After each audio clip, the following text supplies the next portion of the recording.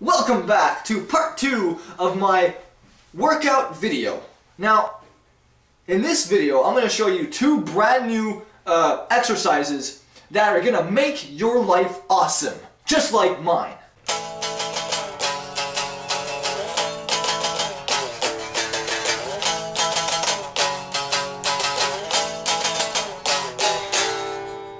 For my next exercise technique, I'm going to show you how to use this. Now this is not a, a play ball, is not a basketball. This is, no, this is an exercise ball. Now this ball, there's two rules about using this ball. Never ever bounce it. Don't ever bounce it. It's, it's not a basketball. You shouldn't do that.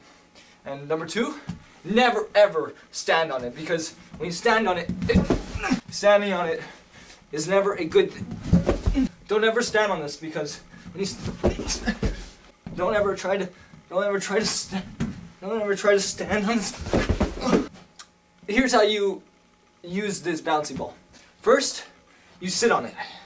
Then you just want to just bounce up and down, and you could with your arms out like that, and just this increases the muscle in your like gluteus maximus and stuff like that. So you just gotta keep bouncing. Just gotta keep bouncing. You just gotta keep bouncing.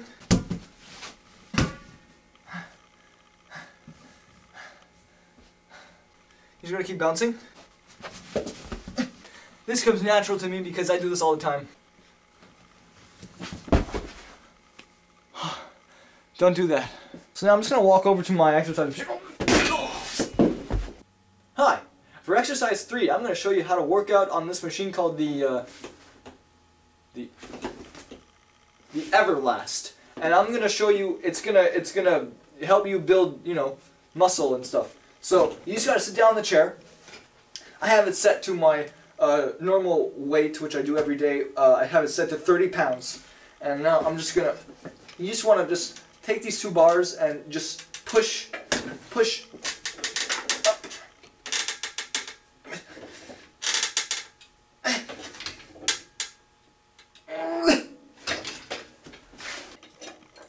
So I have it set to my my normal amount, 20 pounds, and here here we go.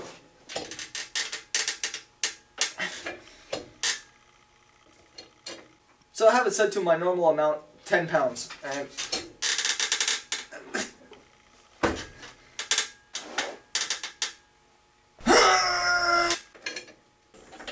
and five pounds is pretty easy. So you just so this concludes this week's episode of Doing It Right with me, your host, Chris Light. Come back next week for a whole new tutorial.